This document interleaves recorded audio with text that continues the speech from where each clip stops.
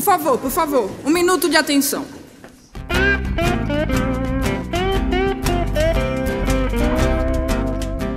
O poder legislativo é quem rege as leis, né? O poder executivo é quem executa elas. Você já participou de alguma sessão da Câmara de Vereadores? Já, já participei. Eu não. Uma ou duas.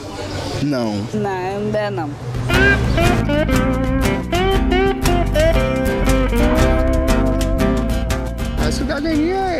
É você lutar pela cidade. Todos os valores, direitos, os deveres que uma pessoa tem na sociedade Você ajudar o próximo, manter a cidade limpa. significa você ser inserido na sociedade de uma maneira digna, você ter seu dever, ter seu papel e ser reconhecido pelo que você faz.